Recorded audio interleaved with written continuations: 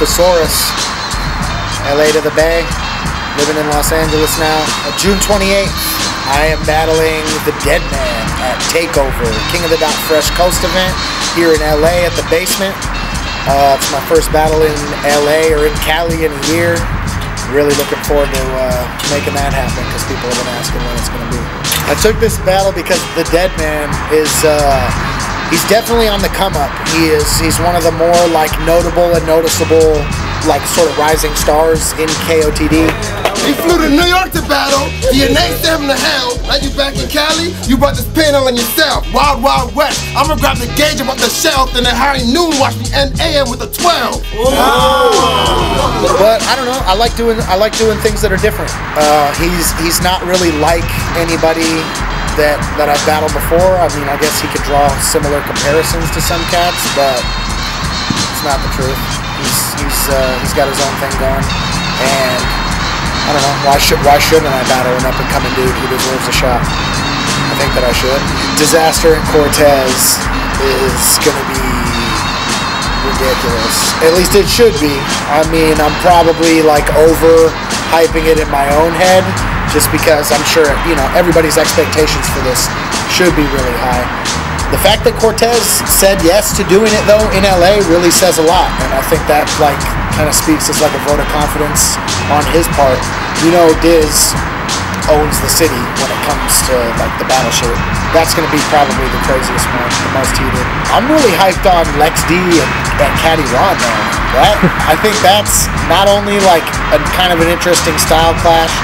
Uh, it'll probably be the most entertaining like line for line. You always know that Ron not only does he present everything differently than other people do, but he's really fucking good at it and, and he's one of my personal favorites to watch.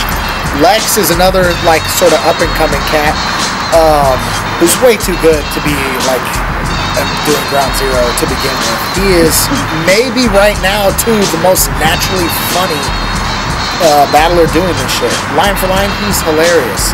Yeah, Una Lavos, I said that. He's hella funnier than me.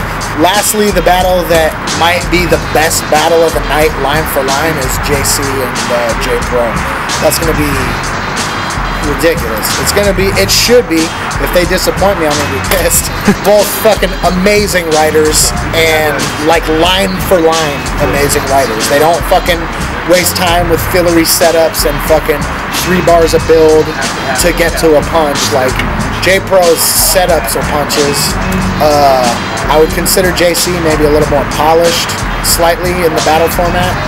Um, but I, I can't call a winner in that. It's it's gonna be absurd. JC's riding a ton of momentum. This is a big like opportunity for J Pro though, so I can't call a winner there. But it'll probably be the best battle of the night, line for line. Word. Besides mine, the Dead Man.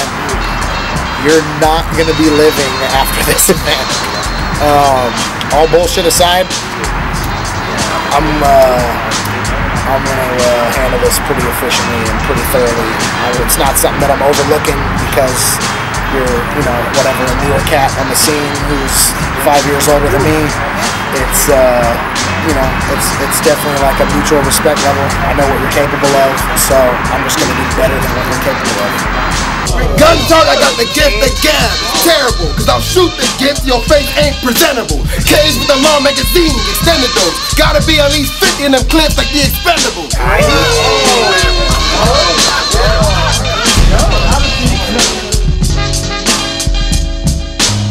Second that my shoes got laced, I jump started as the leader in this two car race. Barrel roll your convertible, it makes your rooftop change. Double barrel pull you covered in bullets to make that rooftop change. Two Glocks aimed right where that fake tooth got placed while I'm saying the same prayer from the Boondock Saints.